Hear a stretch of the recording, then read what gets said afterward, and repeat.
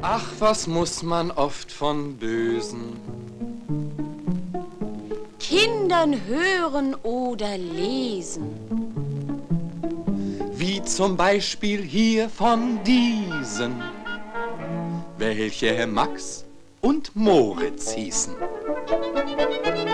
die anstatt durch weise Lehren sich zum Guten zu bekehren, oftmals noch darüber lachten. Darüber lachten?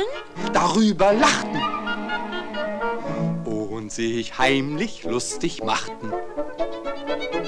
Tja, zur Übeltätigkeit, ja, dazu ist man bereit.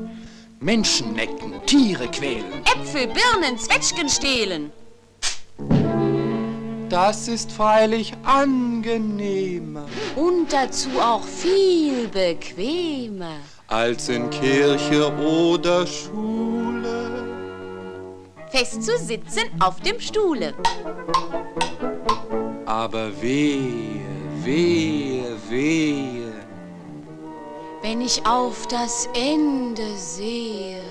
Ach, das war ein schlimmes Ding. Wie, es Max und Moritz ging.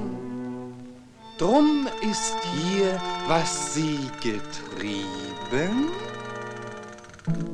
Ah, hab gemalt und aufgeschrieben. gemalt und aufgeschrieben.